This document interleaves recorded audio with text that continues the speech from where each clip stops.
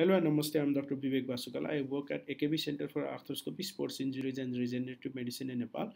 Today I'm going to talk about a condition that is called ankle instability, uh, which is a very common condition. Almost many of us must have sustained some form of ankle injury, ankle instability uh, in our lifetime. Though it is very much common, it is one of the most ignored and one of the most uh, neglected field in orthopedics. So today I'm going to uh, talk about how to diagnose this uh, ankle instability and how to go into uh, decision making with the use of intraoperative fluoroscopy. So ankle is a synovial joint which has dorsiflexion and plantar flexion movement and uh, ankle joint forms with the help of three bones um, the tibia distal part of the tibia and distal part of the fibula makes a uh, ankle mortise under which the head of the talus is located and thus the ankle joint is formed. Uh, with only the bony morphology with the bony architecture this ankle is this ankle joint is not so stable joint. Uh, because of this it is further strengthened by medial and lateral stabilizing static uh, stabilizing structure the ligaments the medial stabilizing structure is the very robust and strong one, which we commonly know as the deltoid ligament with its multiple components. And the lateral ligament complex is not so strong ligament as that of the medial side and it is composed of anterior talofibular ligament, uh, calcaneofibular ligament and the posterior talofibular ligament. The anterior talofibular ligament is nothing but the capsular expansor or capsular thickening uh, which goes from anterior part of the fibula and goes and attaches to the anterior part of the neck of the talus. Um, second one is the calcaneofibular ligament. It arises from the distal tip of the posterior distal tip of the uh, fibula and goes underneath the peroneal tendons and uh, is attached to the tubercle of the calcaneum. Then another one is the posterior talofibular ligament, which is the strongest of these two, these three. And uh, only rarely this ligament is injured and it arises from posterior aspect of the fibula and goes and attaches to the posterior lateral tubercle of the talus. The typical mechanism of ankle injury is when the ankle is dorsiflexed, when the ankle is plantar flexed and inverted, a hind foot is inverted and whole of the leg is externally rotated. This is very common mechanism of injury. Whenever we uh, rotate our whole body uh, when the whole body is rotated during sports or whenever we land onto some some uneven grounds this type of mechanism uh, does occur. And because of which the ankle is injured. In fact the ankle is the joint which is most commonly injured and ATFL is most commonly injured ligament in our body and only about 50 to 70 percent of these cases will have concomitant calcaneofibular ligament injury and isolated calcaneofibular ligament is very very uncommon. PTFL that is posterior talofibular ligament is injured in less than 10 percent of cases.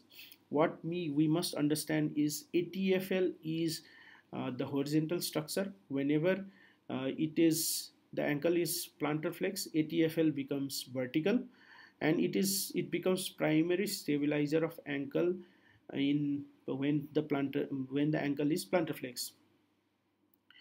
It is mainly responsible for anterior posterior instability anterior posterior stability of the ankle joint. So whenever ATFL is injured mainly anterior posterior instability occurs. Whereas calcaneofibular ligament is vertical when the ankle is dorsiflexed and calcaneofibular ligament gives mainly the mediolateral instability, mediolateral stability. So it is uh, the mediolateral instability which occurs when there is concomitant calcaneus injury along with the anteroposterior instability because of ATFL injury. So there is a paper from Jordi Vega who dissected the lateral ankle structures very nicely and he came up with this beautiful pictures and according to him the ATFL has two bands, the superior bands and inferior band. And inferior band of ATFL is uh, attached with uh, the superior part of the calcaneofibular ligament and it forms a complex and inferior part of the ATFL and superior and anterior part of the CFL uh, is connected with the band of fibers which is called arciform fibers and because of these arciform fibers inferior part of the ATFL and uh, CFL work in combined. And these whenever this inferior part of the ligament is injured then patient will present with the frank instability. Whereas the superior part of the ATFL is injured in many of the cases of ankle injuries and it does not um, give rise to frank instability but sort of functional instability. So it gave rise to a concept of micro instability. So whenever we talk about ankle instability we have to talk about two types of instability. One is functional instability another is mechanical instability. In functional instability what happens is there is no demonstrable instability or laxity on stress x-rays or on clinical examination but the patient will have recurrent history of ankle sprain anterolateral ankle pain swelling around the ankle and patient will have some form of giving away sensation uh, whenever some inversion injuries occurs recurs.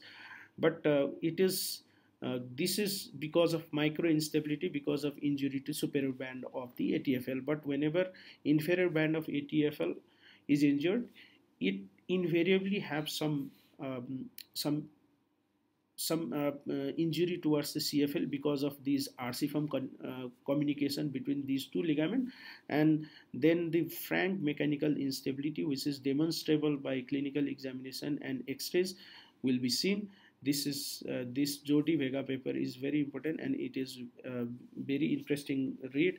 And I advise everyone to go and read this paper and see the concept of micro instability so diagnosis is at first we should have good clinical history number of number of injuries that has occurred number of ankle sprain that has occurred the pain the location of pain the swelling location of swelling everything has to be first sorted out then clinical examination, the anterior drawer test and mediolateral valgus inversion and eversion tests are very important to diagnose in ankle instability. Then uh, plain X-rays, MRI and every all sort of investigations are important. This is how uh, we do anterior drawer test. We keep the ankle in neutral uh, position and uh, keep uh, translate the whole of the ankle uh, foot ankle foot complex on stable leg so um, the comparison of this translation with other side uh, will will be a deciding factor so there has been many papers that has been published about the use of ankle stress radiography in chronic lateral ankle instability.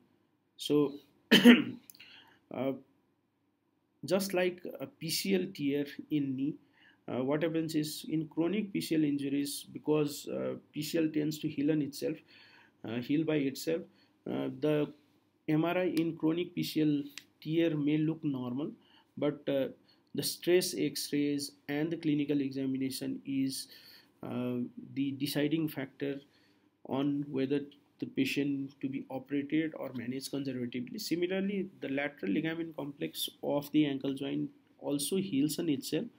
But what happens uh, whether it heals or not heals it is the demonstrable laxity or demonstrable ankle instability which will decide the treatment paradigm uh, in this particular uh, particular condition. So ultrasonography and stress radiographs are better investigation modality and MRI may be negative in chronic injury. So these are the uh, take home points from these papers. So let us see this animation how uh, ligament ligaments are injured and how uh, the healing takes place and how this particular healing will lead to chronic ankle instability. So this is the medial and lateral ligamentous structure that is stabilizing this ankle joint. So whenever there is inversion stress to the hind foot what happens is these lateral ligaments are stretched and if it goes back to normal if it goes if the talus goes back to its original position uh, without completely tearing these ligaments and with some sort of conservative management if the environment is given to heal these ligaments so nicely what happens? Uh, these ligaments uh, go back to its normal shape and size and function in due course of time. But what happens is when this inversion stress is so much that the it is so much that these ligaments will be torn. These ligaments are torn. What happens is uh, there may be um, there may be two results one once the talus goes back to its original uh, mortise what happens is these torn ligaments um, the edges of torn ligaments come to lie side by side. So if you treat this patient nicely by immobilization and uh, further if you treat this patient conservatively and the environment to heal is given to these ligaments these ligaments will heal otherwise what happens sometimes if the continuous motion is allowed uh, when the ligaments are healing these ligaments will heal but these ligaments heal in lengthened position. They, they, they will be longer than its original length. What happens is in these conditions now there will be uh, the sensation of instability or there will demonstrable mechanical instability despite the ligaments are healed. So this will lead to chronic lateral ankle instability. And this is most common condition how the patient will present to us in our clinics uh, with the chronic lateral ankle instability. So this is how we do uh, the stress radiographs in our uh, in our setup. So it is uh, mandatory to take the patient to OR, uh, not uh, patient not anesthetized, and we do mediolateral uh, varus and uh, inversion and eversion stress to the ankle joint and see the lateral talar tilt and anteroposterior ankle instability be, um, by doing the anterior drawer test. So talar tilt more than 9 degree and anteroposterior shift more than 10 mm is diagnostic uh, for uh, in our setup. So this is how these ankle instability looks like. The mediolateral instability the lateral instability you can see the talar tilt more than 9 degree. And this is anteroposterior uh, translation of the uh, ankle joint. The posterior lip of the distance between posterior lip of the uh, tibia and uh, anterior joint the most posterior point of the uh, joint of the most posterior joint line joint point of the talus uh, is measured. And if it is more than 10 millimeter by um, when when the anterior drawer position is maintained then the there is significant ankle instability. So the advantage of this stress x-ray is not only in diagnosing but uh, on table you can diagnose and you can confirm that your surgery has done well. These two x-rays the superior two x-rays are uh, the x-rays pre and post uh, operative.